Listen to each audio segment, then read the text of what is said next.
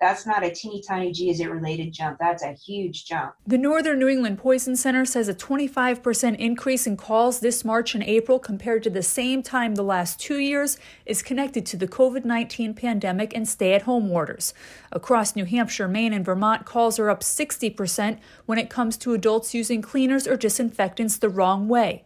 The Poison Center's toxicologist says adults are accidentally swallowing cleaners because they're not in the original containers or they're inhaling dangerous fumes.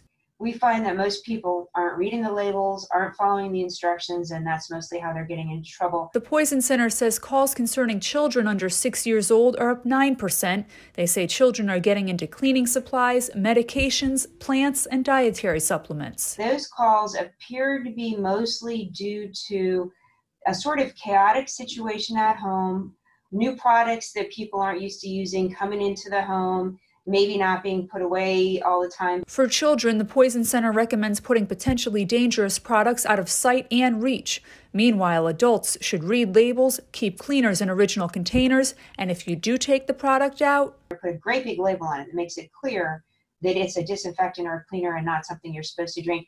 And then maybe the most important thing um, is to not store the cleaners anywhere near things you're supposed to drink, and vice versa. That will avoid a lot of those mistakes.